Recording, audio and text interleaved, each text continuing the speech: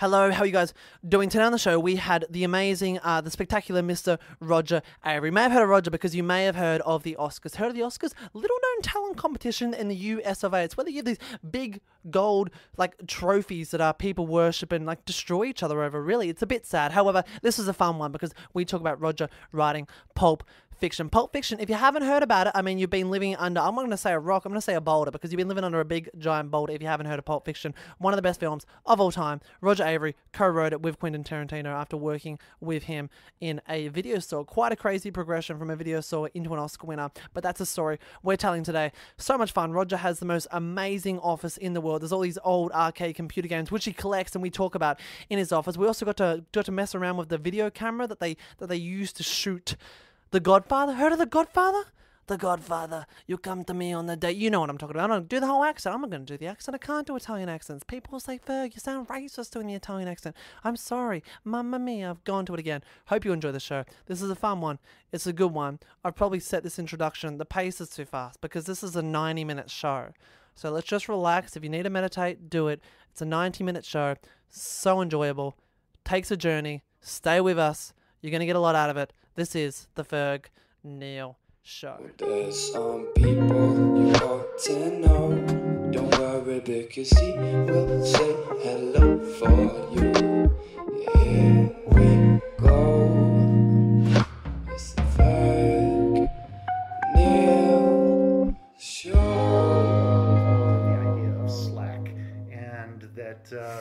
mankind wants to basically just lay on a couch.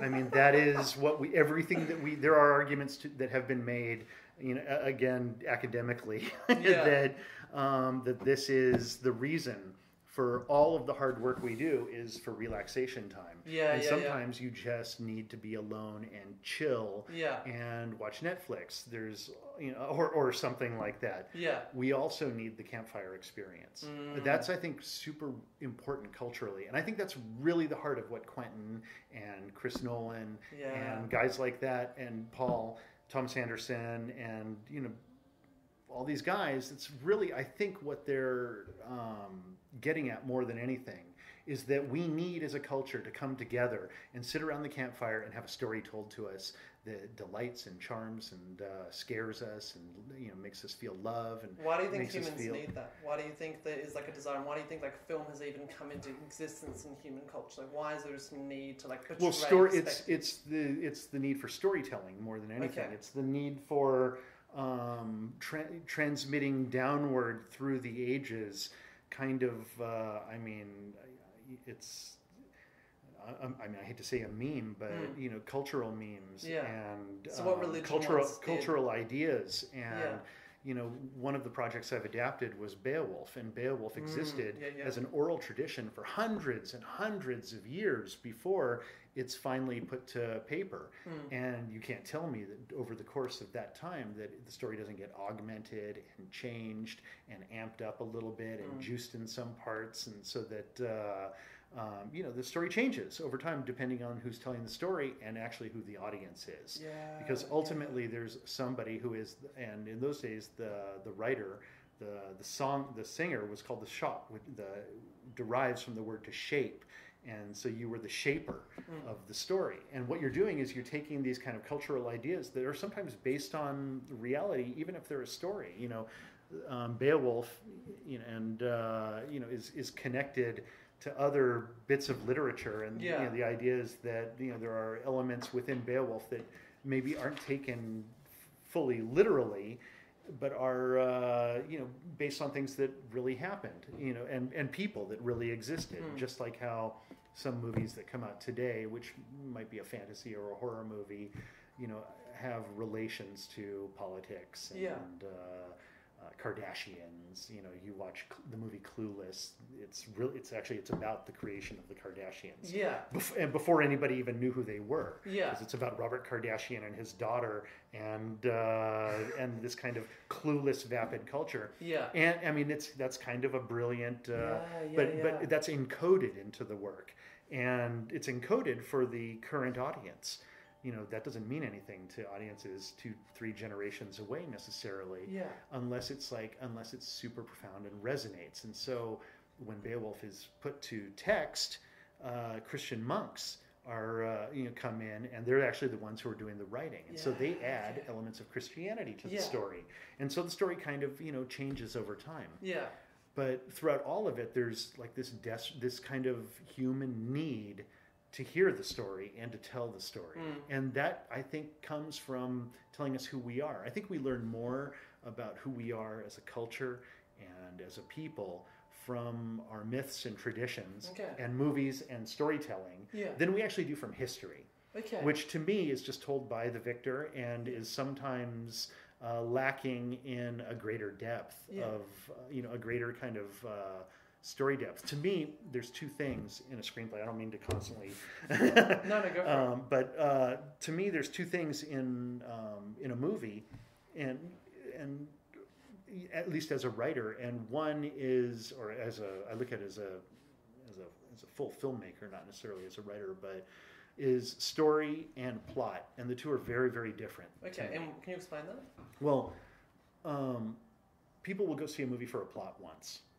People will go see a movie for a story again and again and again. And What's a again. plot-driven film that you think of? Well, let me ask you: have, Do you know the movie Towering Inferno? No. Probably not. Um, it's probably a bad example. It's like an old person's example. Um, Call my dad and ask, but yeah, ex- exactly. Okay, like let me think of an uh, of a recent movie. You know, um, Transformers. Uh, Go with the yeah, big yeah. one, Transformers. Yeah. What is Yeah, the plot? The plot of Transformers. I don't know five. What is the plot of Transformers one? yeah, Like, I mean, unless you really, really know, and unless they were really close to the canon of the source material, and you know, maybe you are. Uh, the plot is, I mean, I can't even, to, I can't tell you what the plot is. Yeah. I know that Shia LaBeouf and kind of likes a girl, and I think there's some somebody from space, and I, like I don't know what the plot is, but I Yeah. guarantee the plot is super thin. What the Mm. story is is robots transforming into cars and jumping around and like you know battling whatever. yeah, It's giant fights and things like it. And you know, the story is everything that kind of hangs on the plot. They say that there's like six or seven, you know, actual stories. What they mean is there's six or seven plots. Boy meets girl, boy loses girl, blah blah blah. Hmm. Um, there's only so many ways to to kind of rearrange the plot for something. yeah, The story becomes about character. It becomes about what's being said during the course of the plot. Mm. Um, you know, the plot is, and some movies are very plot heavy and procedural, and some are uh, are super story heavy and character driven. You know, that almost feel like they have a no plot. You watch Mm. some uh, mumblecore movies by uh, a filmmaker I'm super fond of, Joe Swanberg. This, I think he's uh, uh, kind of one of the great, great American filmmakers who. Um, uh, it, it was part of this kind of mumblecore movement, which came around during the emergence of video, when suddenly, uh, you know, like he was like, who cares about how you feel physiologically, you know, receive the information? Grab a camera and go shoot. yeah, okay, yeah, yeah. And that was like one of the first times. I mean, really, it was like there's been multiple instances of it, but it was one of the times when suddenly it became very easy for anyone Mm. to grab a camera and go shoot yeah, you know, the only time that that really had kind of happened strongly before was shortly after World War II. The camera technology that had been invented, specifically the German camera technology that had been invented, proved to be super. Uh, it, it- it allowed for film. You know, I mean, film stocks had been invented that Yeah. were super sensitive to light, and cameras became quiet because if you had a loud Bolex camera, you get shot. You know, yeah, yeah, yeah. they know where you are. They can hear the camera, and so they shoot you dead. And the. Germans were like, "Okay, we've, we've got to create, a, you know, a silent camera." And so they did, and that camera allowed you know young filmmakers to you know shortly you know in the years that followed the Yeah. uh, the wars to basically grab a camera. Guys like Stanley Kubrick were able to grab a camera yeah, and go out like get an Arri 2C and shoot. Yeah, and um, that hadn't really happened before. And it kind of allowed for this emergence and this explosion in creativity that we know is like you know kind of the 60s and 70s of, uh, of cinema was the people who grew out of um, you know the, the advances in technology that took place and the refinements of it that happened in the 50s and it, it allowed us to break away from studio driven films and into kind of a more immediate form of cinema and this happened again with the emergence of video and it will happen again and again and again and again Okay. with other forms of storytelling, cap- visual storytelling capture technologies. I can um when I'm talking, I can hear like the like the fascination with cinema. Like I can only imagine the workings that's going on in your brain. Like it's kind of my mind feels exploded just from listening to that. Where did that creative drive come from initially? Like, do you remember a point in your life and an age where you thought, okay, film's what I want to become obsessed with and what I want to live with and what I want to portray and cultivate my life into? Yeah, it evolved, and um, and I would have to say that it continually evolves for me. Okay, I am, um, you know, I uh, I love cinema because probably because as I was growing up, it was the predominant art form, Yeah. pop art form that you know that existed. Now, one could almost argue that you know video gaming eclipses cinema. Sure. YouTube videos, you know, uh, or, or sometimes eclipse cinema. I mean, in certain ways, um, you know, it's it's something that evolves over time. Um, I, I began, you know, when I was uh, when I was young, with um, cartoons like cartooning and uh, drawing art Yeah. and I was doing lots of um, uh, car- cartooning. You know, I was mostly doing visual storytelling, but with uh, you know comics. Mm. And um, that at one point, a teacher, like when I was in grade school, handed me a regular eight camera, which was regular eight was the 16 millimeter format, literally cut in half Okay. and so you had um, you know they would literally just with a machine just cut the film in half and that was regular 8 which had larger sprocket holes than super 8 and Yeah. so um, he gave me this camera and i used it to begin doing animation. And i was doing kind of very crude cel animation and it just takes a long time to do because you have to draw a lot and at a certain point it just was like you know what? It's easier to do claymation and three-dimensional Okay. um, animation. And so i evolved into that for a while. And I'm, I'm probably talking about over a course of weeks. Yeah. in my mind it's years but it, this was probably two weeks in my life um, but in my in my in my adult mind it was over a much longer experimental period that i was involved with you messed with clay for a little while, chucked it out. yeah, exactly. And then portion of your life, yeah. eventually, I just was gathering my friends together Yeah. and shooting with cameras, you know, movies. Mm. And um, then, uh, like, this was.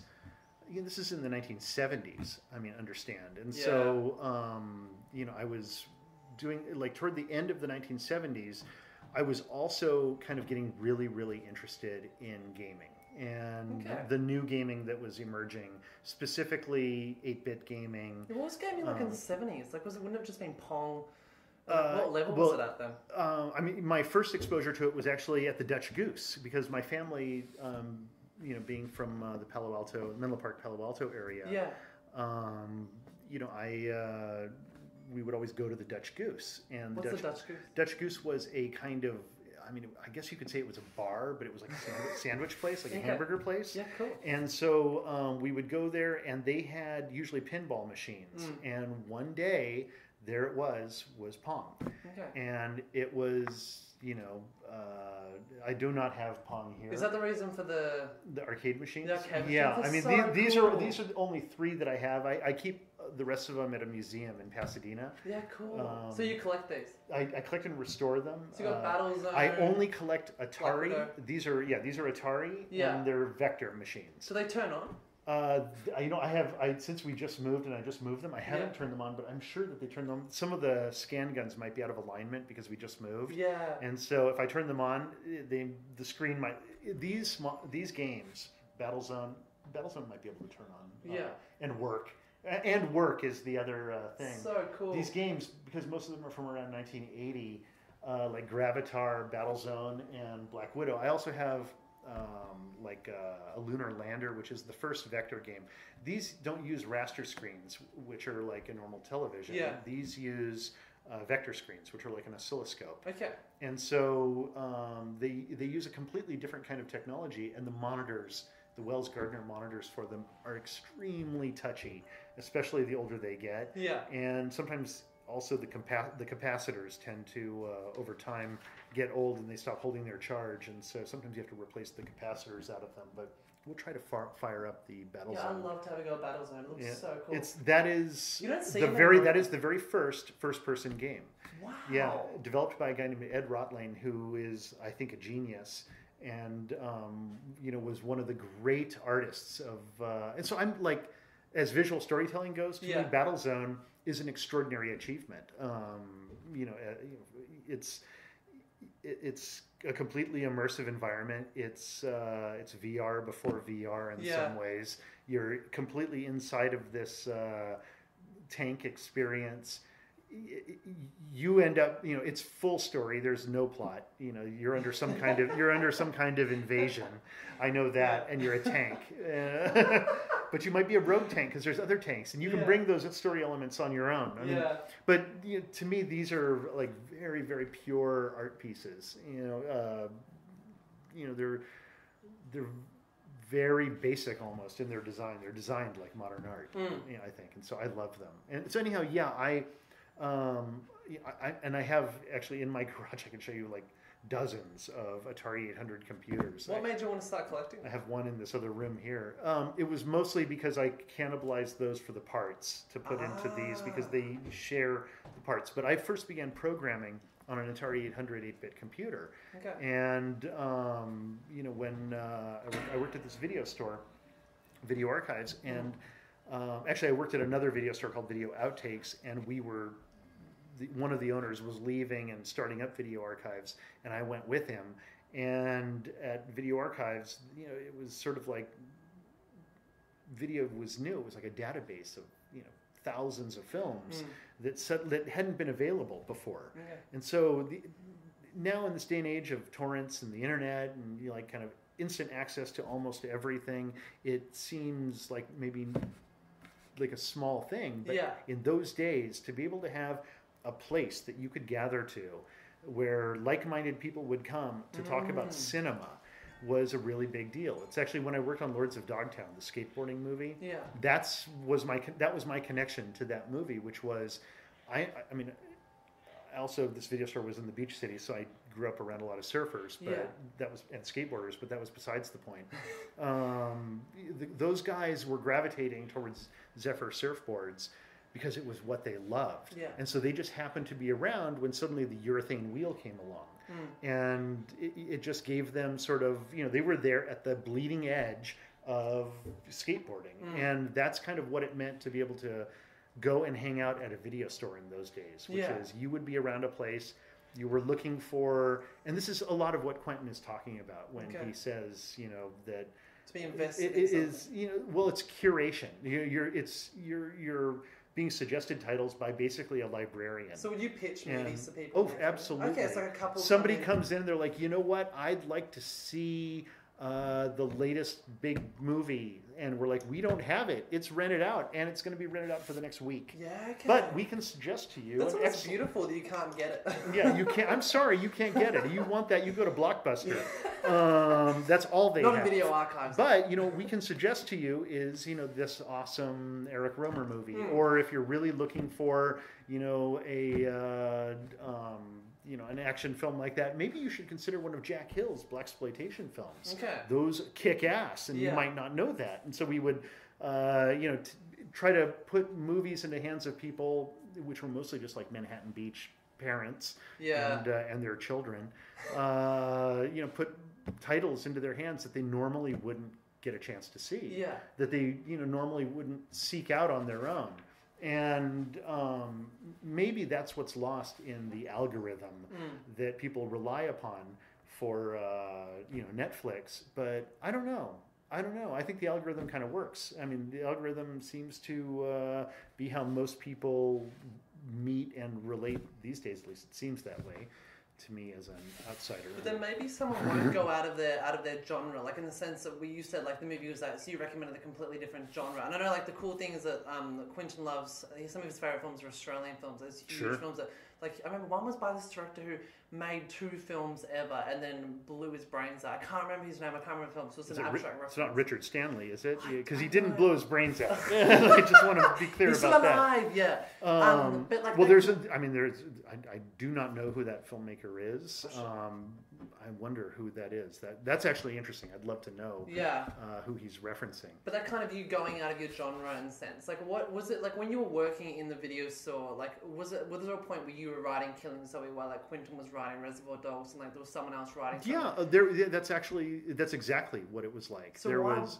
yeah, because I'm sure there's been like millions of occurrences where creative people have worked in the same space. Why was it this video store that became this hub for such amazing cinema? Well, at, in those days, there were only a couple of really awesome video stores, and Okay. most of us were kind of.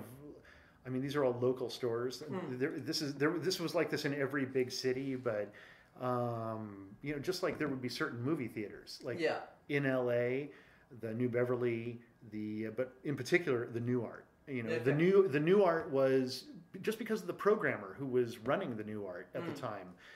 The movies that he would select or she would select, you know, whoever it was, um, the movie that she would select would the movies were you know, always amazing and like really good pairings of double features and had a really good flow. I mean, the programmer was kind of what it was all about Yeah. there was a, a TV thing called Z Channel, you know, uh, when I was young, which was like Yeah. this difficult to tune into, almost like Videodrome, like you're you're trying to get this channel, but they were showing crazy ass stuff you could not get anywhere else. You couldn't see it. It was impossible to find, and there was like this one guy who was just basically the genius behind Z Channel. And Yeah. we used to at Video Archives, we used to tape things off Z Channel, Mm. create our own packaging, and then rent it to people Isn't that like that i'm sure that that's illegal i'm i was not the owner of the store and so it wasn't me that sanctioned it. It- Yeah, i was yeah. just an employee and it was a very gray area but if one if one looks at the history of hollywood it's Yeah. built it's built on theft there's a the reason hollywood is in california Yeah. at the west coast as far away from rochester new york Yeah. is because it's as far away from thomas edison as possible Okay. and he owned the patent on the technology. Wow, is that true? And so they came here and they knew that they could just they could take his negatives and his prints Oh and they would and they would dupe them and release them and guys like you know the Lamely brothers and Yeah. Jack Warner were fucking thieves.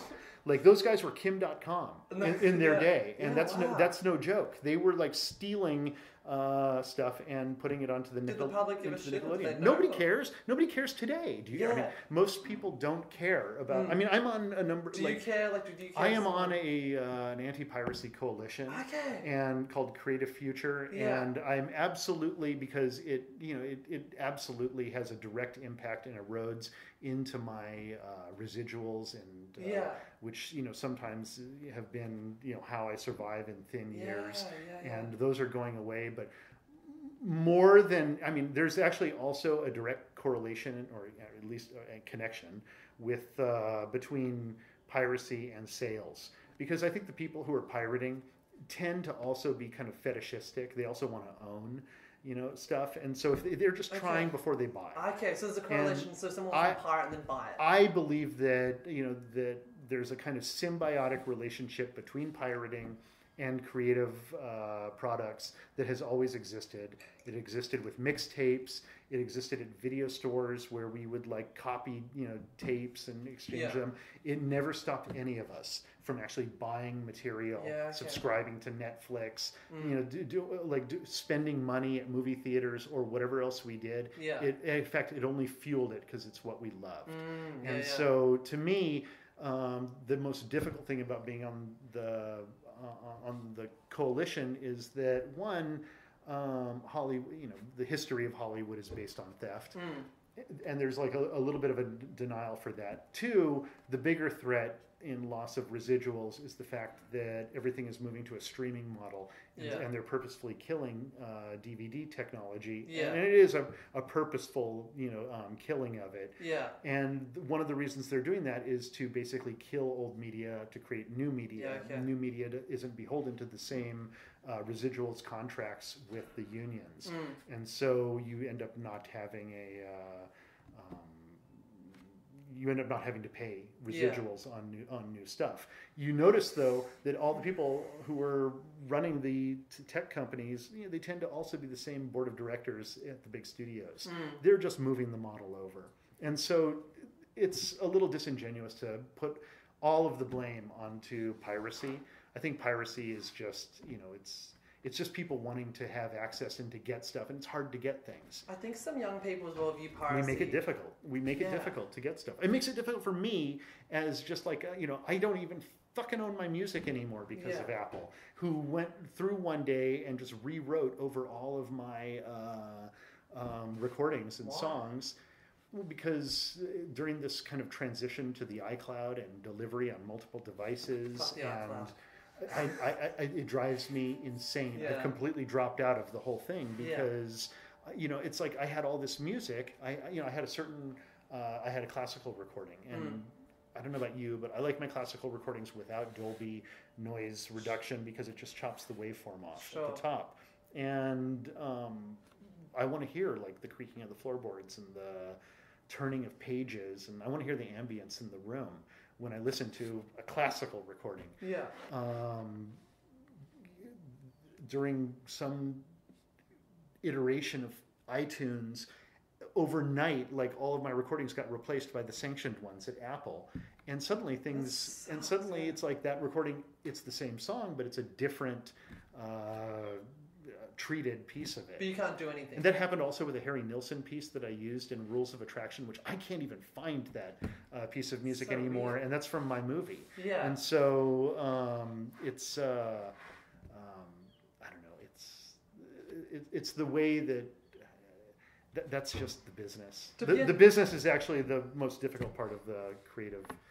See, It is show business, and part of it is show, and part of it is business. Yeah, because I'm sure like a lot of people like who want to break into screenwriting in Hollywood be like curious in like how you went from working to a video store to like breaking like I'm sure people would see these like huge people at the gates of production See, companies. that is the great lie that's foisted on It's you. It's easy? Well, the trick is to not break in. Uh, okay. I mean, I'm confused. it's a big it's a big myth that there that you're sold that you have to break into anything that you have to break into Hollywood. okay. Um, it's like somebody putting a velvet rope in front of a door. like it automatically makes you feel excluded, like you can't go in.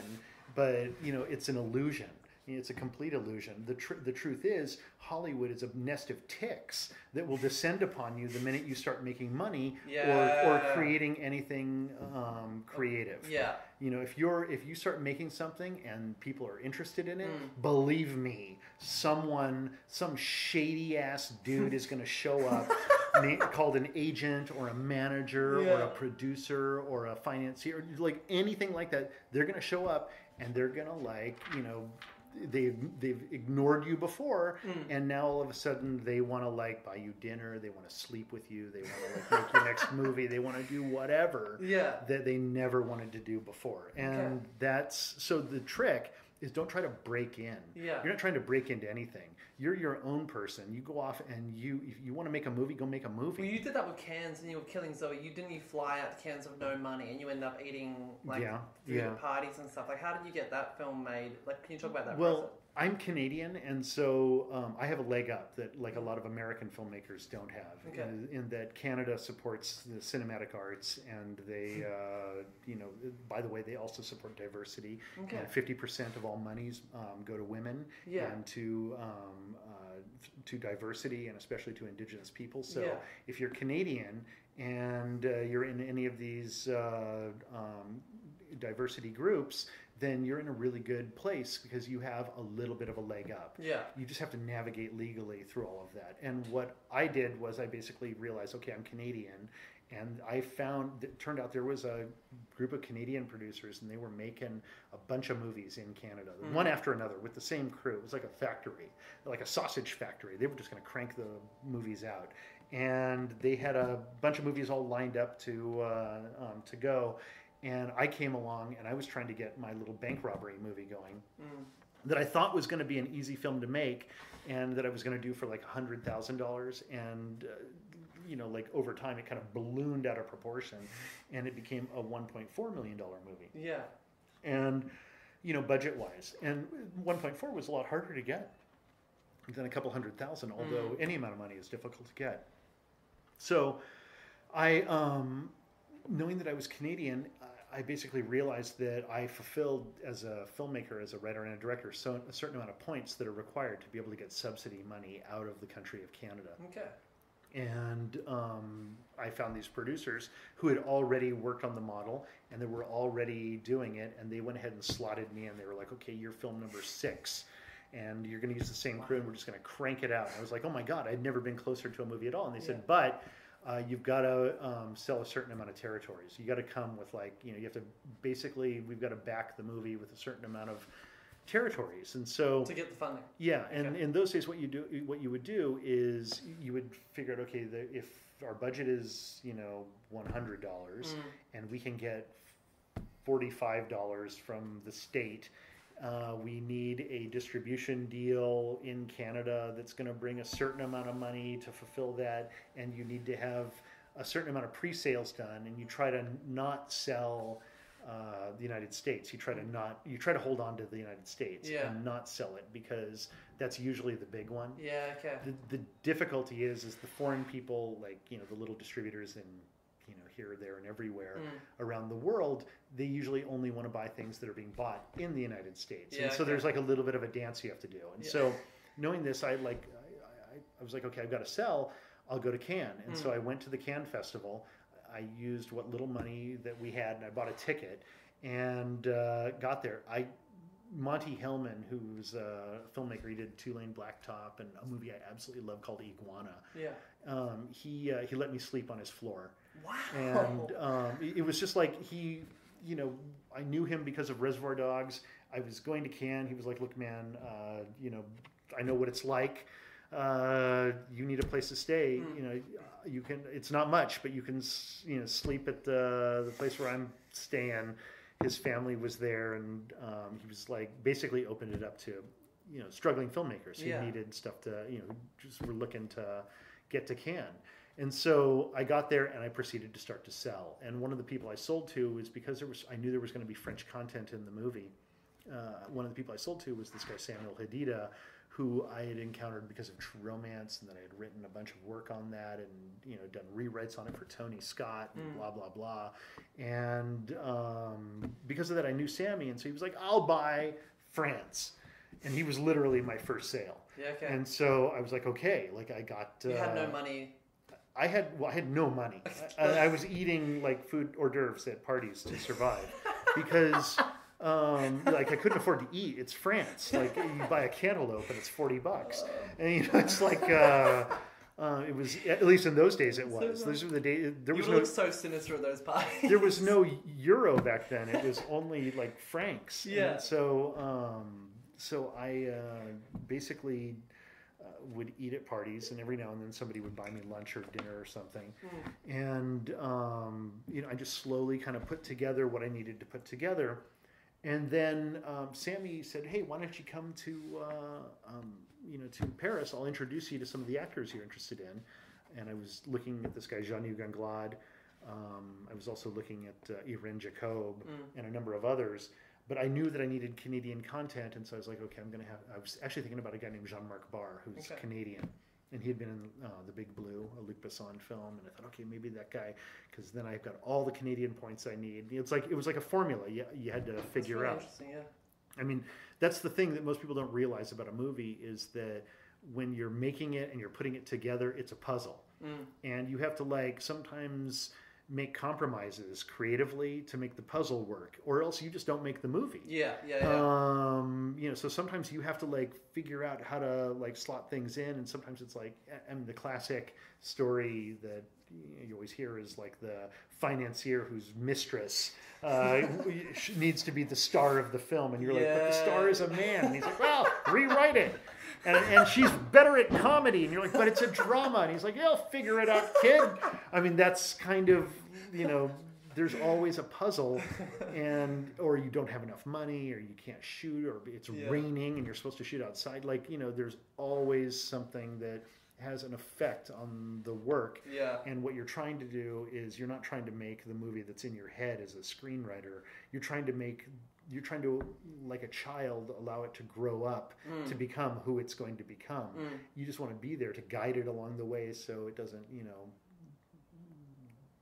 get a drug habit or you know go to prison or like Yeah. do whatever you can to like uh, um, To guide it. to guide your Yeah, yeah. film and to keep it, you know, in a in a place where it's kind of sort of creatively in a good zone. But it's going to become what it becomes. Yeah. You know, you think it's going to be one actor, and then suddenly it's somebody else, and maybe it's better with Okay. that new person. Like, or you had one idea, like, oh, it's going to take place on a spaceship, and then you can't do that, and it's like, well, it has to take place in a rainforest, and then that leads you to creative choices and decisions that are maybe better for the movie. And for me, I've always discovered that when I'm rigid, it's a it's usually trouble. When I'm when I'm rigid with the creative process, Yeah.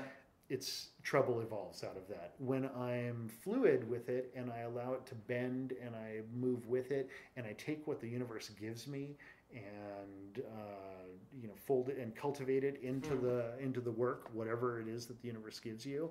But if you're open to it, um, that tends to be the better. Uh, um, uh, it, it, it tends to work creatively better for me at least. So was Killing Zoe like an like pretty Yeah. close to the visual approximation in your head of what it turned out to be? Um, yes, actually, yes and no. I mean, it's in some ways it absolutely was. You know, I'd always seen Eric Stoltz. I wrote it thinking about Eric Stoltz. I Yeah. had just seen, I can't remember what it was, the Water Dance maybe, Okay. or something like that. And no one wanted Eric Stoltz uh, at the time. It was like Eric Stoltz, you know, he's like a ginger. like that would be what they would say now. Nobody actually said that, but they were like, you know, he's got red hair, and Yeah. uh, you know, there must be someone else. And to me, I was like, dude, Eric Stoltz is the coolest, and I can identify with him, and he's a great actor, and uh, um, and actually, he was at that moment.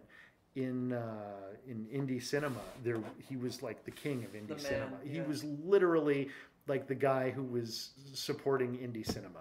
He was, you know, guys like Noah Baumbach, you know, their career is supported by Eric Stoltz in the very beginning. He's like in their movies, and he's, you know, he he was seemed like he was he had his fingers into every. That makes it sound bad. He had his he had his he had his gentle touch on all New York uh, indie movies at Yeah. that time. But um, anyhow, I love Eric, and he uh, working with him, you know, on it was was like uh, it was super lucky that I got him because that it turned out was exactly what I wanted. But over the course of it, like a lot kind of changed, you know, in in my head, Mm. but not so much. There was one moment actually where. Um, because of the nature of the film, I was shooting upstairs and downstairs. We had very little money, and so um, I had to shoot all of the upstairs uh, first and then go shoot all the downstairs. But in the movie, you're cutting up and down, you're going back and forth constantly.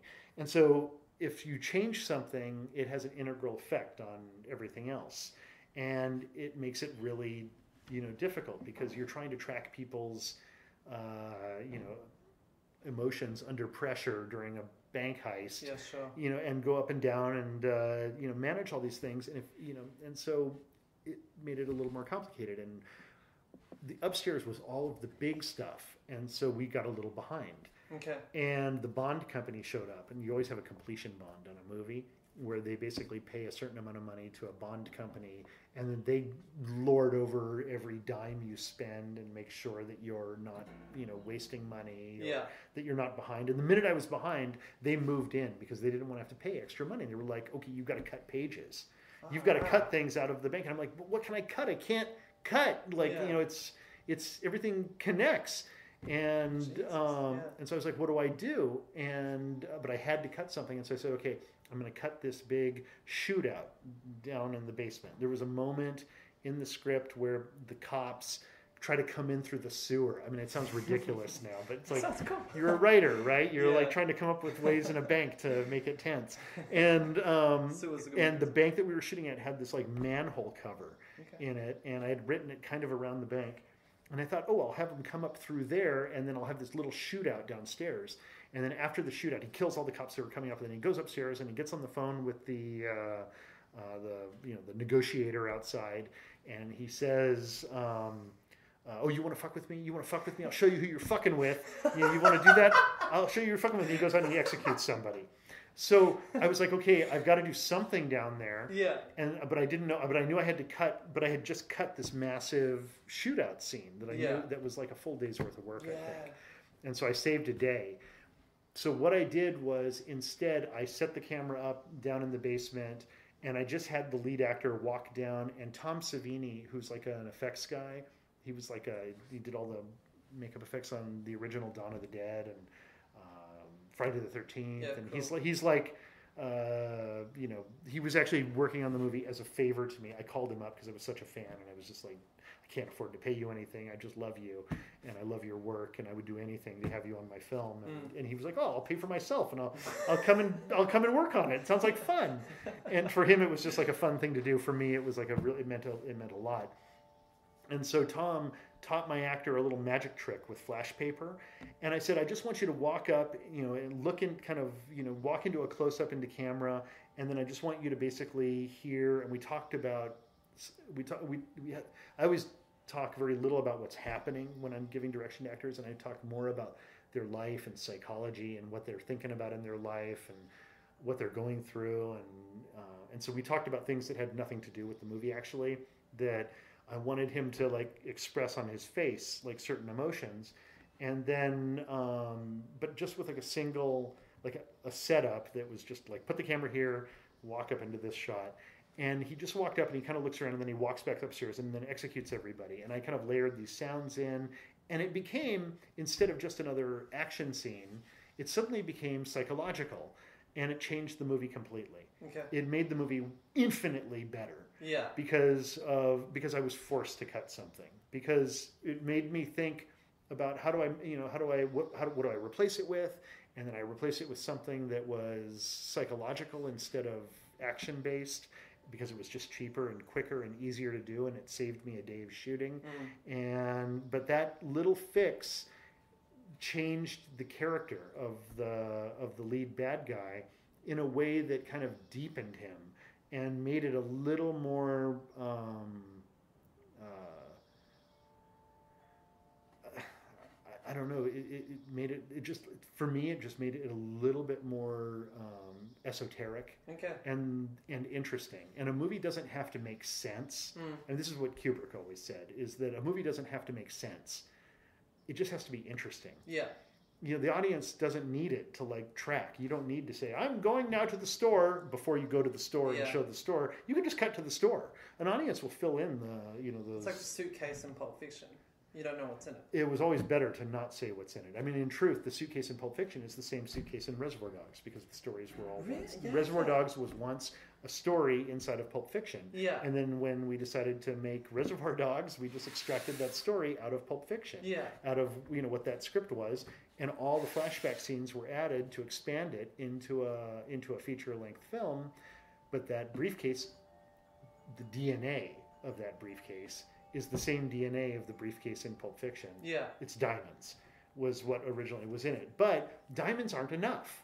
Diamonds aren't enough to everybody that's out there. Diamonds are arguable. Is that good enough to like change your life, to change who you are at the core of your being? Like is anything enough when you tell an audience what it is? Probably not. to, that will not disappoint them. And so we, we decided let's uh, not tell anybody what's in there. Let's make it more esoteric. I even think it's too, um, by adding a glow, for me, that was even too Ah, much. okay. I think that it, like, even that was I, I, clearly it uh, it wasn't too much because people love it and it absolutely works. But you know, originally I was just like, let's just not show it. Okay. Let's just not talk about it. like let's just have the when people look into it, there's a moment where he's like, my god, it's uh, it's whatever you want it to be. Mm. You know, is uh, is kind of the I, I think it's when somebody looks into that briefcase, it is literally whatever they want it to be. Yeah, well- I think that's the magical quality of that briefcase for me, because that's what we intended it to be. Can we talk about how um, Pulp Fiction came together in the writing process? Like, were you and Quentin like poor when you were writing this film? And I know you guys went to Amsterdam, which I found Well, surprising. neither of us were poor. Okay. Um, we were, you know, it's not like we had tons of money to throw around. Yeah. Um, we were, you know, working class. You know, my mother's divorced. And, Yeah. But, you know, I come from a well-to-do family. It's not Yeah. like we're, you know, Quentin's mother, I think, runs a major health company. Yeah. Um, it's not like we, but we were um, obsessed and focused on something that um, at the time was like a long shot. I mean, it's not even like we had the tools that we have today to you know both interest people, you know, like using. I'm- basically talking about the internet, but also the, all the tools that come with the internet Yeah. that allow people to really immerse themselves into film as you know uh, storytelling medium and make it affordable and easy to do. Um, those just didn't exist back then, and so you know there was a believe me there was a lot of discouragement like you know, Really? in, in- into like whether you wanted to become like a you know a filmmaker like who can do that like you know at, in those days it was it was it was a, So it was a big dream to have actually even back then So what pushed you into like pursuing it? Like what was the like was there a part of I just like was better. Like I guess I never finished the story about the c- computers. Yeah. Um, I was just better at it. There was less math in cinema than there was in computers. Yeah. I was into computer programming. I was really into computer graphics. I was Hmm. studying with Jim Blinn, who uh, was one of the great pioneers of 3D um, uh, filmmaking. He did Hmm. all of the Jupiter flybys, the Voyager uh, flybys of Jupiter, which had you know um, shading and uh, texture mapping and things like that, like long, in, like long before anybody else was doing it. Yeah. Because he was working at JPL and they had you know resources in Evans, Evans and Sutherland. These were military companies basically Mm. that had access to you know um, computer. Compu- I mean, I want to say computer graphics, but it's more than computer graphics. It's the you know the full systems that allowed those um, early computer graphics to be done, and uh, and so I had all sorts of access as a kid, and I'm not even sure why. Um, I had ac- actually, as I think about it, like how did I even have it? I like it's kind of weird. It's like my mother had a boyfriend because Yeah. my parents were divorced, and Yeah. through Hughes and aircraft, and then through them, Evans and Sutherland, and that allowed me to have access to see uh, kind of where computer graphics was going, like Yeah. long before. These are in the days when some computer graphics were being done through analog Wow. techniques, and so. Um, uh, so, so I started work early on in CP/M systems and was writing uh, uh, like early, early software, mostly on 6502. Um, But this point, the filmmaker dream, what it was like at the back of your mind, or just didn't exist? well, no, it was something that I was doing in animation at that time, and then you know films with my friends, Hmm. and so I was doing a little bit of both. And okay, to me, not 100. to, to me, they were complement. I mean, I was using them also as complementary Yeah. uh, I was also really, I mean, this is going to sound strange to talk about it, but I think it did have an effect back then. I was really into Dungeons and Dragons, which is a kind of role playing, immersive, rule based uh, gaming system pre, you know, kind of, kind of almost like video games before video games because they were so complicated, but they're also storytelling and world building. And you would build entire worlds and dungeons and adventures and campaigns for people to go on and then guide them through it. And so, really, that gave me the foundation of talking to actors Yeah. and trying to describe visually kind of something that I wanted, uh, you know, um, something that I wanted someone to experience. And so I think I would fold those tools eventually later on and just start using them. I mean, it was like you, know, you become a composite of uh, all the. Um, you become a composite of all the influences that, Hmm. that kind of land upon you as you're, you know, growing up. I guess is the the way to Yeah. the way to put it. And so So the Gold Watch storyline that you wrote in Pulp Fiction, I know you've talked about that um, your experiences are and like your writing is a reflection of your past. What part of you went into that storyline of the Gold Watch? Um, I mean, everything and nothing.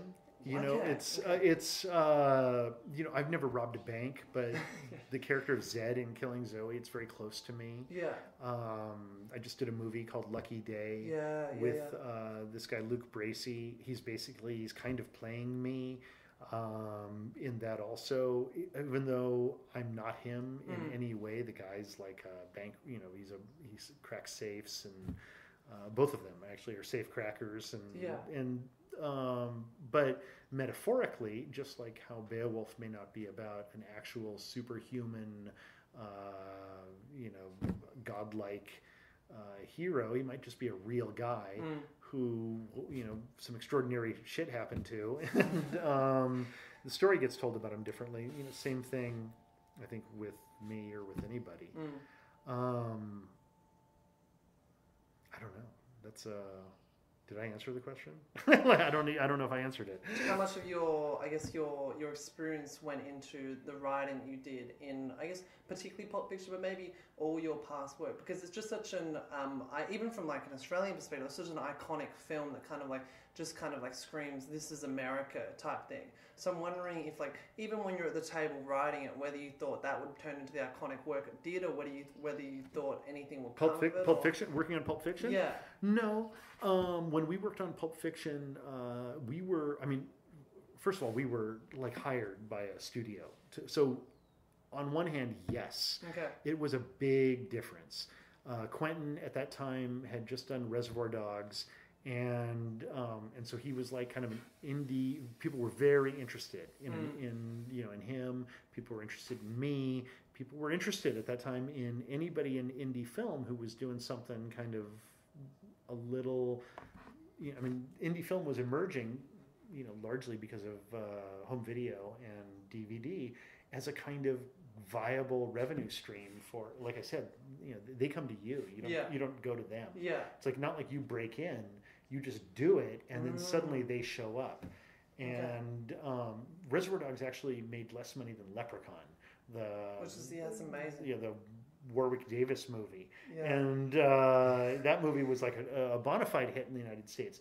In Europe, on the other hand, people knew who Reservoir. You know, people they didn't differentiate back then. You know, like a big American movie and a small American movie. It was just an American movie that Yeah. would show up, and uh, and so in Europe, it was like a big, like it was crazy. Yeah. like people didn't We did amazingly at the festivals. Didn't it did really amazing. And so he had a lot of a lot of opportunities, and he went back to Pulp Fiction, which is a project we had long talked about doing as a, a film with you know like a bunch of short films that we would put together with various filmmakers, and wanted to do it himself. And so we got hired by TriStar to develop that the screenplay based on what Quentin wanted to do next, mm. And um, but you know Pulp Fiction. I mean, f again for us it was huge. It was like making a hundred million dollar movie. But back then, Pulp Fiction was an eight million dollar movie. I mean, Reservoir Dogs cost one point three, one two, one three, I think, Yeah. around there, um, in nineteen ninety three dollars, and uh, you know, Pulp Fiction cost eight. You know, in what is whatever whatever it was, nineteen ninety four dollars. Yeah. whatever whatever year that was, and so it's uh, um, it, it was a huge amount to us. Mm. Like it made a big difference. Like suddenly the production was huge, uh, but really in the grand scheme of things, it was still a small film. I mean, it was a small, hip, cool movie. You know, when Bruce Willis attached himself to it, it took it to another level. Yeah, so even with the I amazing cast, it wasn't apparent that it was going to turn into this. No, I remember one interview Bruce Willis did on MTV where he um, they were asking him, "What are you doing next?" It was like you know after some Die Hard movie or Yeah. something like that, and he was kind of trying to explain to them that he was doing a small film. And he looked sheepish about it, and he was trying to like he was kind of throwing out Quentin's name. Nobody really knew. I mean, people in tight circles knew who he was Yeah. you know, it was uh, there was an art house crowd who was sort of, you know, the same people who knew who John Woo was. Yeah, uh, yeah, You know, in in those days, or knew John Woo's work before he came to Hollywood. Um, you know, there, there was a lot of excitement among those people, but mainstream didn't know who he was. And so here's Bruce Willis, who's like the mainstream guy, and he's describing, uh, you know, what he's going to do next. And I remember him being like a little. eh, Quentin Tarantino. Like he didn't really know yet how to frame it because there was no framework yet for that kind of uh, mainstream indie experience. Mm. And um, Didn't TriStar say it was the worst script they'd had handed to them? uh, I mean, yes, in a general way, th- there was a great amount of disappointment in the script when we turned it in. Do you find that surprising retrospectively? Uh, I mean, Mike Medavoy, who was running TriStar at the time, I think found it surprising, um, at, you know, retroactively. you know, Mhm. Yeah, he yeah. he um, he was one of the few people who approached me afterwards. And he was like, you know, I was wrong. I um, you know, and I love Mike. He's I think he's a brilliant guy. He's actually made some of my very favorite movies of all time. I think the guy's a freaking genius. Yeah. One of the best producers ever, or like one of the best studio heads ever. Orion was one of the great companies, and his choices were some of the best. And you know, just when the script came in, he was like, "Look, it was super violent, it was long, and it was long, um, and it was violent, and the violence was like super described, and it."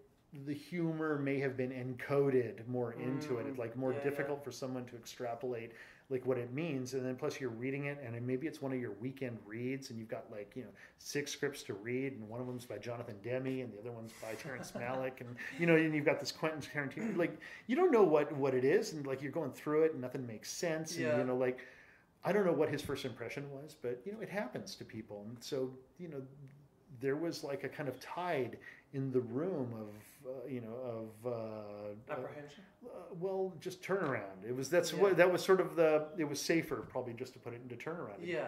And then Harvey and Bob came along and they got it and Yeah. they swept in and gave Quentin the support he needed. Yeah. And you know, um, The rest is history. yeah, we have Pulp Fiction, and um, and along the way, you know, it, it helped to have the machinery kind of pushing it. I mean, there was this real the machinery of Hollywood.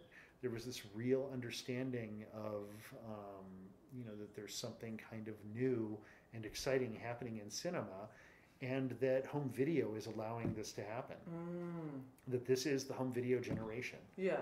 just like you know we've since had an sort of an internet generation of influence in visual storytelling and uh, you know and how to monetize uh, creative storytelling. Yeah. uh, you know and uh, that was the one back then. And so as people realized that there was a great amount of support you know from agents and yeah so like it was it was almost like I, I suppose destined to happen that there would be this kind of uh, um, groundswell for that kind of um, cinema at that time. Um, but it wouldn't have happened without the support of you know the business Yeah. and yeah, the re- yeah. and the realization of hey guys there's money to be made here Yeah. and it built uh, Miramax as a as a studio at And- that time. I mean the the success of that film. It's I mean I, I kind of figured the movie would you know do halfway well. We always kept our budgets low, and that movie for what was going on in it, you know, was made for like a, a really good price. And that kind of fit the formula. If you make something that's like, you know, good and kind of delivers and makes people feel something and uh, you know, and you do it, you know, for a, relatively cheap price, Mm.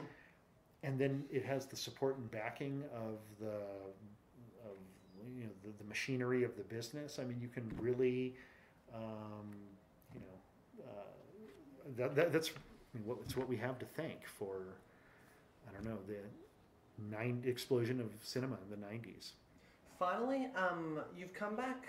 This. I, I, I should also say, I mean, God, I'm putting it all on Pulp Fiction, but I should really, I should really like, you know, kind of also point to Sex Lies and Videotape, yeah. Okay. and you know, the the big influencer, at least for, I mean, for for really, I think I, I can say for both of us, for a lot of people, was also Spike Lee at that time, Yeah. Sure. Yeah. who yeah. was out of nowhere, you know, just grabbing a camera and you know making it, Yeah. and just you know full energy, and that is that was huge. That was huge, and so and also, there were other movies doing similar storytelling techniques coming out simultaneously to Pulp Hmm. Fiction.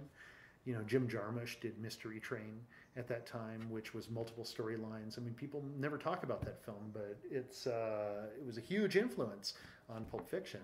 You've got three storylines; they're all interconnected. There's a gunshot that kind of connects them all, so you can kind of set your time, you know, in within each story based Yeah. on the gunshot that happens in the you know in the background, and and so you can use you know and it, so it's like a fascinating uh, little film there was also uh, christoph Kieslowski's uh, three colors movies Mm. that came out around then red white and blue uh, or blue rouge and uh, blanc.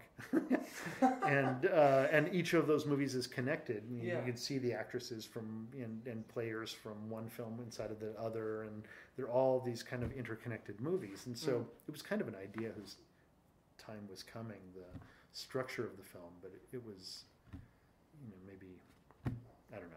The bullet shots in I've always wanted to ask the bullet shots that um the miracle bullet shots that miss um Samuel Jackson in that film. How did that idea come about? Because when my dad first showed me Pulp Fiction, I think I was like twelve years old or something. Oh my god. I'm so sorry. I apologize. When I first saw it, like even like obviously being super young, it's still like it jumped out as being. You know what I mean? Like, because it, it's again, like, was that thing like, well, how did they miss? It's kind of like, and then for like the next time, it's 12 year old me was like, well, how did they miss? Like, they were right there. Like, where did that, like, that idea feels like it's something like, it's just such a novel idea that wouldn't, not many people would think about that. I actually wrote that that specific scene. I wrote that for True Romance. Actually, Hmm. wow. that was the scene with Drexel, and um, in Drexel's apartment, and you know, there's this. There was this whole moment in True Romance that you don't see in the movie, obviously, because those scenes were cut out Yeah. and moved into Pulp Fiction. Mm. And um, there's a whole scene within it with uh, Drexel and the bullets and the Yeah. and the gun going off in the car and blowing off Marvin's head. Yeah, yeah. Um, all of that was in, you know, the whole thing about, you know, flock of seagulls and all of that was for uh, True Romance. Were you worried about the violence in the film? No, Not at all. no, not then. No, Yeah. not then. I mean, now I, you know, it's like I'm a different person now, I suppose. Yeah. Um, but no, I wasn't really. I mean, I don't know if I was worried about it. I Yeah. there was a huge discussion at the time about uh, um, violence in cinema, and I think I made some statement on a on a BBC special Mm. at one point that I'm almost a little ashamed of because it just got misinterpreted, but it also I got thrown to the wolves a little bit over it, and it was um, I said something like, "Look, I'm I'm not a moralist. It's not my job Yeah. to like lay morals onto everything. I'm you know that's it's not what I do. Mm. I'm not trying to like you know you know be a moralist." Yeah. Yeah, yeah. and David Puttnam, who is like one of my heroes, and I actually feel really bad about it because I like, you know, I think after Mike Medavoy that he might be my favorite studio executive Okay, of yeah, all time, yeah. and then maybe Bill Mechanic shortly after that. like they're they're all in contention. They're, it's, it's all very close. These are all really super brilliant guys. Mm. But David Puttnam, he was like he basically picked me out of an, out of like a documentary full of people like saying volatile stuff Yeah. and basically said that kid should be taken out and shot for what he's just said about uh, um, you know because it's careless. And i get what he's saying. I kind of understand what he's saying but you know i mean he made one of my favorite anti-violent films of all time. He made a number of movies that are my favorite anti-violent films. Hmm. and i'm actually like against i mean the difference between quentin and i i think is that um, and this was always the case, is that you know Quentin he, he loves the cinematic device of revenge Okay. in a movie. Revenge is one of the things in a film that you know it's it's it's been around since early early cinema and it will be around forever. It's one of the most exciting devices for you know to push a, a story along is a revenge plot. I kind of like for I'm big on forgiveness, So- Okay. Yeah, and yeah. so you know So is that a dispute? Like when you were. uh, there, well, yes and no. It's like everything is a dispute. When, Yeah. when you're writing and you're creating and you're Yeah, working yeah, yeah. together, every conversation you have Mm. is a. I mean, it's. I mean, I wouldn't say it's a. Maybe dispute is the wrong term, but every conversation is a creative dialogue Mm. that you have to discuss uh, motivations of people and what's more important for somebody and you know is revenge more important or is forgiveness more important? You know is the better quality of humanity more important or is the more salacious quality of humanity more important? And it always depends on the tale that you're telling. You know um, the for me the revenant and um, oh my god what's the one on the on the Mars, the the Martian, the Revenant and the Martian, which are two movies that came out in the you know same year and were competing Yeah. against each other. To me, they're almost identical movies. Okay. Yeah. They're men in extreme situations where nature is absolutely against them, Yeah, yeah, yeah. doing everything that they can to survive inside of it. One is motivated by revenge Yeah. and the other one is motivated by just survival and humanity and one movie is about humanity coming together Yeah. and the other one is about i'm gonna fucking kill him and there is definitely an audience favorite among Yeah. the two of those and it's it's more difficult to tell the martian i think as a story than it is to tell um, the revenant Mm. Even if the revenant is like you know i don't know a funner movie to watch because it's you know more i don't know intense or salacious or whatever and potato farming is less interesting you know cinematically maybe Yeah. um, you know, I, I kind of appreciate them as, and maybe this is just me as an older, uh, as an older man now talking, but you know, I appreciate the Martian these days Okay. more, and I think David Puttnam was probably more in that headspace. Yeah. And it's the job of a young filmmaker actually to like go out there and kind of push button and do things, you know, uh, you know, to to go places that people aren't normally going to. You know, Yeah. you're not, your job isn't to be a moralist when you're young. Your job is to be a moralist when you're older, maybe. Sure.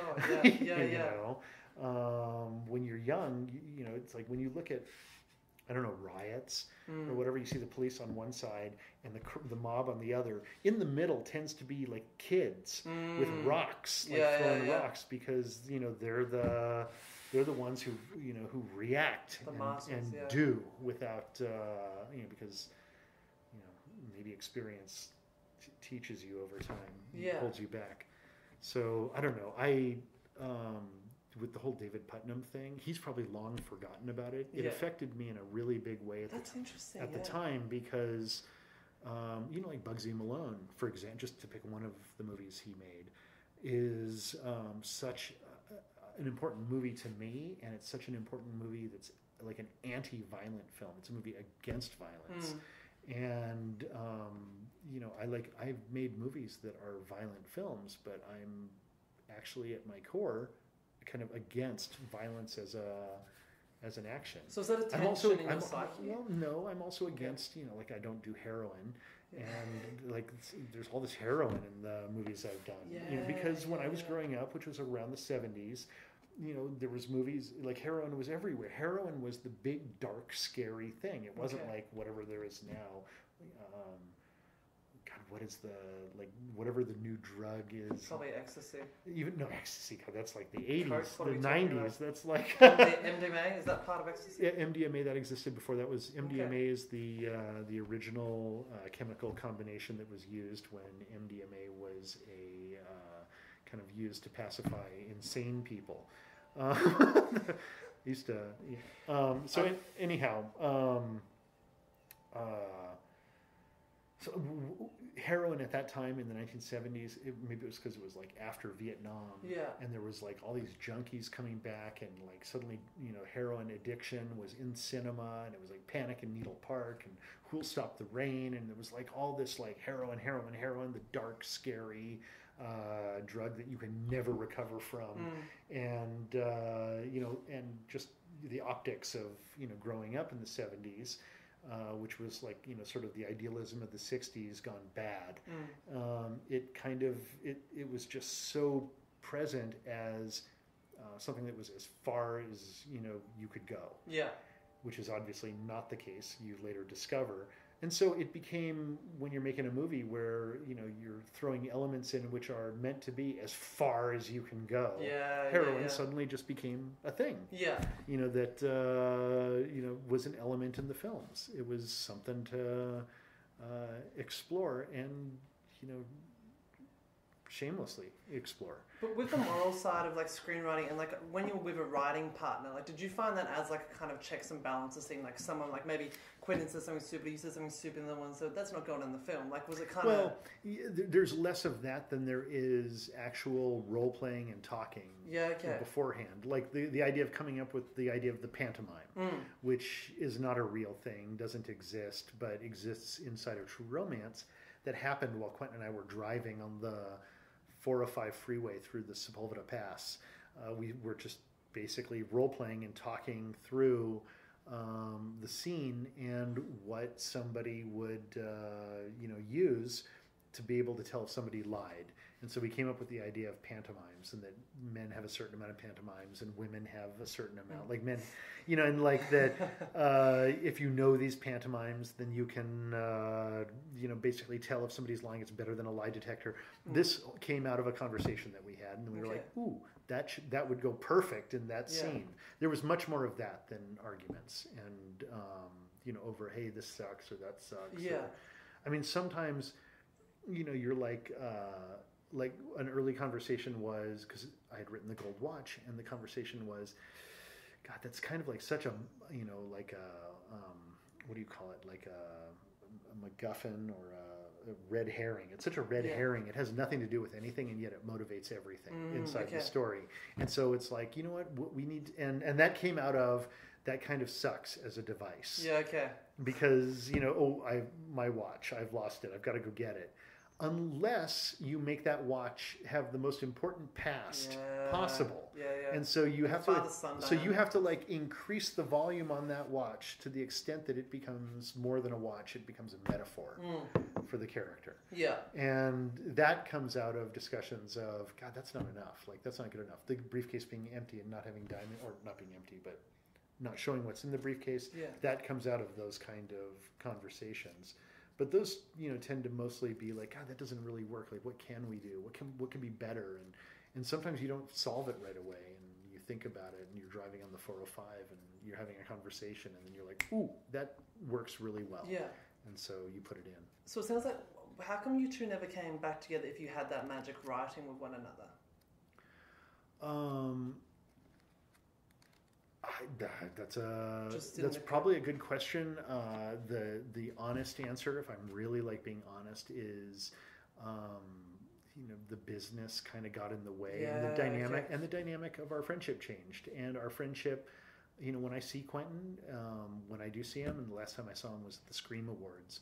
Um, you know, it's it's like seeing a brother. It's he's we spent our formative years together and Mm. he's uh, you know a dear person to me and so you see him and you hug and it's like how are you and it's good to see you but we're different people now Mm. and then and we're not two you know it's one thing when you're just two guys working in a video store trying to write scripts and trying to get movies made and Mm. doing stuff it's another thing when you add all the other elements of the business that change the dynamic of a friendship and so we i think at a certain point it just became a conscious decision or maybe even a subconscious decision of let's just let our friendship be our friendship Okay. and yeah, not yeah. let it be, uh, um, you know, contorted by the limbo of the business. Yeah, you know, yeah, by the, yeah.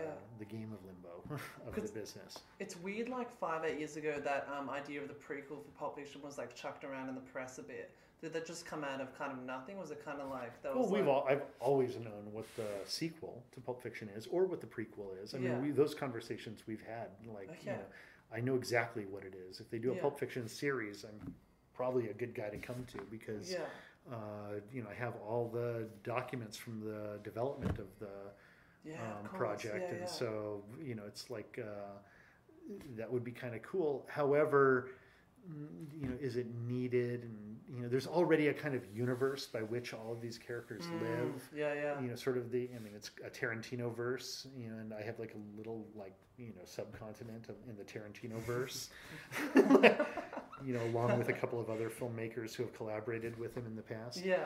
and um, uh, you know, I don't know what, what can one, what can one say about that. So you know, we just never, um, you know, came back to work together. Mm, You know, I've worked with other people, and it's always been, uh, um, you know, kind of a similar pleasurable experience. Like you know, I've written with Neil Gaiman, Mm. uh, the novelist, and we had a very, very similar, very close, um, connected writing experience, which Mm. was super enriching. I mean, that's you know, when when you have any relationship with anyone, you kind of carve out a little piece of yourself Yeah. to make space for the little piece of them that you fill in that hole with, and then you give it a little piece of yourself to them, and it, that's a excuse me, my God, like a proper uh, a proper sharing experience. Yeah. And um, when a relationship is imbalanced, is when somebody you know kind of gives up a little piece of themselves and they don't get anything back. Yeah. And I've been fortunate enough throughout my career to have a number of writing partners that I always have good experiences with. I've worked Mm. with Ted Elliott and Terry Rossio. Those guys were fantastic to write with and to, to work with. They're dynamic and fun thinkers, and uh, they have great ideas, and they really have a um, they're super dedicated to the the actual practice of the craft. Um, you know, Neil Gaiman is you know share brains with the you know somebody like that, and Hmm. they automatically become your brother for life. Yeah, yeah. You can go years without seeing them, or maybe it's like somebody you were in combat with that you see them years later, decades later, and you're like, oh my God, we were in the foxhole together. Mm. And it was such an intense experience that it galvanizes your friendship in a way yeah. that you know you can go for very long periods of time, at least for me, without seeing somebody. Mm. And um, you know, then when you see them again, it's like, yeah, we shared a piece of our brain together. Um, these days, I write with my daughter, who um, you know actually for the last God, seven years or so. Wow. um, she's been my writing partner, and we write almost everything together. We develop projects together. We go on pitches together. She's my director of development and does all of my, uh, um, you know, like I don't nothing, you know, happens without going through her. Yeah. And um, because she's tough, she's smart, she's fast, um, and it's a completely different kind of experience. I mean, so for me, you know, it's like I've worked. I've had a number of really, really good writing partners, but I, you know, this is one that I made myself. Yeah. And Yeah. I tr- and I trust- Literally. Yeah. literally, and I trust. I trust her like absolutely. Like Yeah. she, I like has my back, and I can absolutely. And and so you're kind of like asking about moral checks and balances Yeah. Sure. Yeah. In the writing. you know yeah. she is different than me she is a girl she's you know in her early 20s she Yeah. is uh, you know um, we- share a lot and when we write sometimes you know the writing blends and you can't tell who wrote what at a certain Mm. point but she definitely has a distinct voice that is her own she is you know a girl and can speak you know uh, with confidence through uh, you know a certain facet of her voice that I can't do Yeah. without it being false. Yeah. I do a certain thing that you know she doesn't do, maybe precisely, and you know from the other end, and together it makes for a good combination. And maybe it's changed some of the you know the work that um, that I've done a little bit, Yeah. but I think only in a healthy way. It's usually you know adding, um, you know, kind of uh, processing cycles. Yeah. it's not, yeah. Yeah. It's not subtracting processing cycles. Yeah. It's, it tends to be you know the one thing that I would say that she's done for me that was really important at that stage in my career was um, uh, you know when how do I put it when you're young you um, you just do you remember like I talked about those people who just like when they're young they just run out and they throw rocks at the Yeah. At the place. whatever you know they're, they're just they're acting Yeah. you just do and the metaphor in writing of running out there into the no man's land and throwing rocks at the police is just letting it pour out of you without Yeah. monitoring what you're doing Yeah. without really focusing on like limiting yourself or um, inhibiting yourself or governing your your inner voice Mm. let it speak and it just pours right out of you and then you look at it and and you just write and you know i'm, I'm super into the surrealists and the surrealist movement and uh, i'm part of marilyn manson's uh, church and uh, of for realism Yeah. and and all of that and so i'm really really into um, automatic writing Yeah. and working with her made me kind of remember what's important because the older you get the more you um, with the more experience you have and the Mm. more um, uh, you know the more well the more experience you have Yeah. the more caution you you end up using the more you know the more cautious you are because the, the more you second guess everything Okay, that you do yeah. And so working with her has reminded me that when you're young, you just let it pour out. Yeah. You don't say, "Oh, I wonder if this is the best thing for the characters to do in this moment." Let's Mm. think about it. Let's talk about it. Let's workshop it. Let's you know put it up on the board and map out the entire script and figure it out. No, you just let it happen. You just let it pour out of you because you feel somewhere deep inside of you, outside of your conscious mind, it pours out of you. And when I was young, when I was writing, what I would do is I would kind of wait for the tunnel to appear before me and I would kind of wait for this sort of, and it still happens, where you wait for the tunnel to appear, and then you watch the movie inside of it, and you just try to like transcribe what you're listening to Yeah. as fast as possible. You're basically listening to the voices in your head and allowing schizophrenia to occur, so that you can, uh, so that you can surprise yourself with what you're writing. And you, sometimes, you know, I'll look back on what I've written. I'm like, where the hell did that come from? Is that me? Okay. Is that me at my deepest self? I don't know. Okay. You know, but you know, so working with her again reminded me of automa- the automatic writing as a as a kind of conduit into you know your your subconscious and letting whatever you write just kind of pour out of you and splash on the page because when you're writing faster is better than better Yeah. does that make sense That makes sense. Yeah. yeah. faster is better than like people don't actually in Hollywood when you're writing a script and you're like you know you're you're hired you're contracted by Warner Brothers or Paramount or Sony or somebody like that they want you to rewrite a script and Mm. they give you they send you the pages and you get it and they actually don't want it good they just want it now That's interesting. like they yeah. want it sooner than better Yeah. like they would Which rather ha- flaw in it. most people would rather have more steps you know when they're developing because they just want it done Yeah. and so what you, you know and and and that's actually the hardest thing to do because you know to just do it and then just give it to them is is actually more important because you know people want it yesterday and so it's actually kind of helpful for that for that business facet of it Mm. and also creatively it allows you to surprise yourself which is what yeah, you're yeah. always trying to do Yeah. at least for me it's what you're trying to do i'm not really one of these writers who likes to map it all out and figure it all out and Mm. know exactly when so and so is going to walk through the door Yeah. i like to just you know oh my god the, none of the bullets hit him Yeah. oh my god the gun just went off and blew off marvin's face Okay. So it's a surprise to you when that, that comes I, on I didn't know the gimp was coming out of the box when i wrote it Yeah, suddenly the yeah. gimp came out of the box Yeah. like the, the gimp just suddenly they were unbolting it and they opened i didn't even Yeah. know what was in it as they were unbolting it and then they threw it open and inside was the gimp Yeah. and i don't know where that came from Yeah. it was not uh, you know a planned thing it just happened Somewhere in your psyche, there was a little gimp somewhere the gimp came out and and the, the trick for me was just to allow the gimp to come out Yeah. and to allow it to come out you can't plan for it to come out it just Mm. has to come out yeah. Yeah. and yeah. that's for me the hardest thing about the creative process in writing Yeah. is to get to the place where you can allow that to happen and um, where you're not like caring so much about what somebody else is going to think Mm. or am i going to is this scene written in a way that you know the business wants it to be Yeah.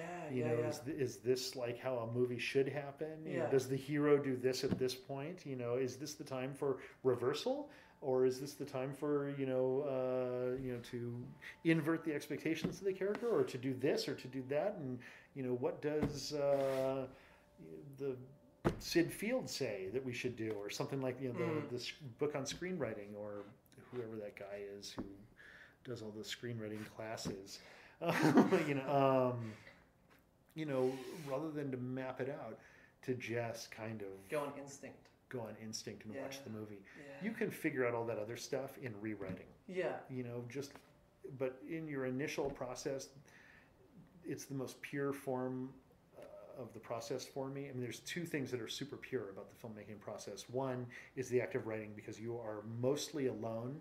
Even when you're writing with a partner they tend to be writing something like when i write with gala or when i wrote with neil gaiman Mm. we would trade off on scenes. You're going to write this i'm going to write this. And then we would write it and then we would swap it. Okay. and then that person would rewrite what you did and you'd rewrite what rewrite what they did. Yeah. and that became a very pure way of doing it because you work alone and you work together and you end up making discoveries along the way that kind of change what you did and it's a very it's a very pleasurable way to write um, but even still, you know, I I have to like I, I like I, I prefer to just let it happen. Yeah. I tend to know where people are going in general when I write. So, but so Lucky Day. mhm. Why have you come back and made like was there an, an urge and was it on instinct? Like what's the reason for the, the directorial comeback, writing the script? What was it that inspired you to what part of your life that's kind of been the narrative that's run through this that's cultivated Lucky Day? I was in jail and um, I was basically locked to a desk with a golf pencil and Mm. sheets of paper. And um, I told, I asked myself, oh, I wonder if I should, uh, um, you know, just let myself go and write a kind of 90s movie again. Basically, in the same universe and with the same characters, you know, that have kind of populated Killing Zoe, mostly killing Zoe, but there's, I mean, all of, you know, there's also characters in this that are referencing other characters in other films that are, I mean, it's like I said, it's a subcontinent of the, maybe not even a subcontinent, maybe just an, an island chain, Yeah. an, ar- an archipelago of the Tarantino verse Yeah. um, uh, you know, but in there there are connections to all these movies that I've been involved Yeah. with, and it was I think maybe a way for me to connect back to those films. You know, there were bits of True Romance in it, bits of Killing Zoe, bits of Pulp Fiction. I mean, there's bits of characters that I had, you know. I mean, the Beatrice character Mm. in uh, Kill Bill uh, has a kind of piece in this. Like there's little bits of everything. Yeah. In, you know, in this film, and it was more because I was in this kind of confined environment where you're 23 hours in lockdown Mm. and you're surrounded by you know. Uh, neo Nazis to one side Yeah, and Mexican Jesus. mafia to the left, Yeah. and you know you're just trying to like uh, stay inside of your own world Yeah. and at the same time uh, take in the influences that you're experiencing and that you're listening to all around you and cultivate it into that work. I mean, you know, uh, Quentin uh, also when we did True, just before we did True Romance went to jail, and um, he was I think in jail for like a week. But during that time, some great dialogue came out of that. It was like, you know, you ever cook your crack with cherry Seven Up? Pussy love pink rock. Like that's a real line of dialogue Yeah, wow. that came out of uh, Los Angeles County Yeah, uh, jail. Yeah. And so, um, you know, you, you, basically have to carry a, a pad of paper with you wherever you go, and you write down things like this. And that environment happens to be pretty good for writing a crime story. And so it kind of poured out of that experience. And then those pages I would send because they would confiscate my pages out of, uh, um, you know, when they would raid cells, they Mm. would take, you know, try to get people like contraband from people like Shanks and Pruno, Okay. which is Yeah. jail wine or tar heroin. But for me, they would take whatever I wrote. yeah. And so I realized that if I sealed envelopes and uh, sent them out, they wouldn't open up my Yeah. mail. Yeah. Yeah. They weren't allowed to open mail, and so I would send uh, the pages to my daughter, and then she would write, type them up for me, and write them. And basically, that's how the script was developed. And do you think that was something that kind of kept you through that experience, like the creative outlet of writing the script? The creative outlet of writing in general was super important to me. I Yeah. mean, when I was there, my all my writer friends and filmmaking friends, uh, you know, like my DP sent me a copy of uh, Dostoevsky's House of the Dead. Yeah.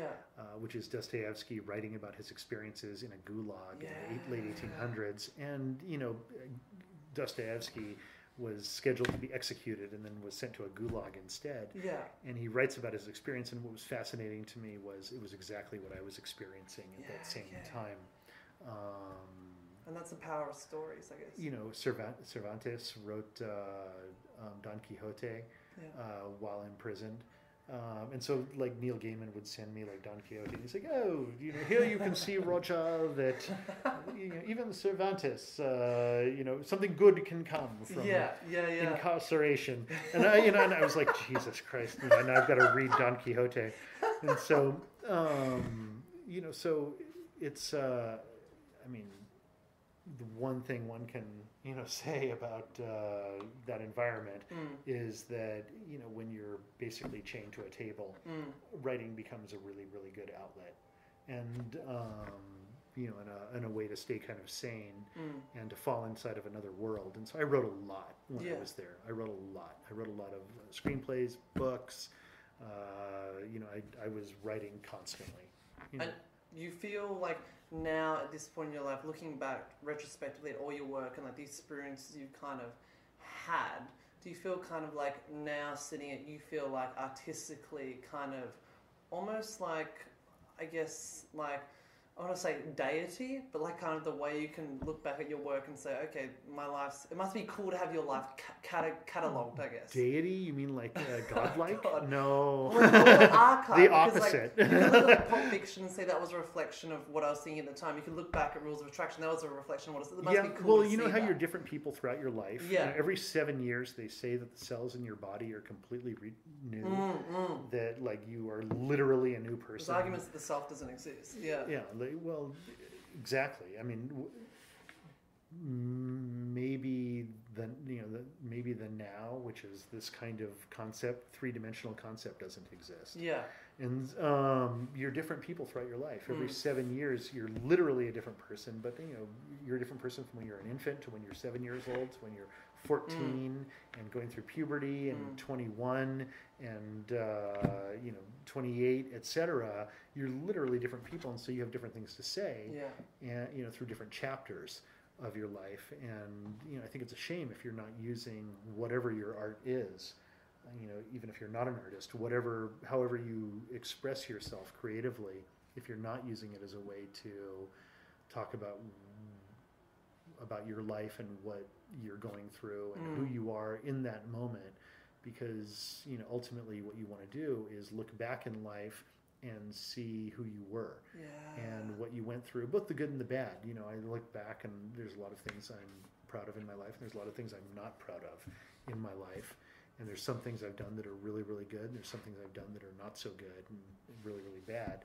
And, um, you know, that's what reflection, I suppose, is about, is, uh, you know, trying to constantly do course correction Mm. so that like your screenplay that evolves into becoming a movie that you hopefully through your life evolve into being despite the you know the good or bad that happens to you which does not actually define you it's how you react to the good or bad that happens to you in life that defines who you Yeah. are and you know i think that's kind of important to um, you know use your creative work again whatever it is to uh, um, to make those discoveries about yourself that's all any artist i think is trying to do or hoping to do and whatever the um, the medium is whether it's video games or Mm. movies or books or painting or whatever Yeah. you know, you're basically trying to see yourself at your most core level in that moment Yeah. and and the maybe also the world around you and then to Mm. put it on uh, you know to put it into a form where somebody else can kind of experience metaphorically you know the what you what you're experiencing what you've experienced Yeah. and what you've gone through at least i think i don't know I think that's an amazing way to finish. We've been Yeah. going for nearly two hours. oh i'm sorry But no, I think that was that was an, that was an amazing uh, two hours, and yeah, thank you so much for coming. No, it's absolutely Roger. my, my absolute pleasure, and uh, thank you for uh, thank you for talking with me. Lovely. Have a great day. There's some people you ought to know. Don't worry, because he will say hello for you.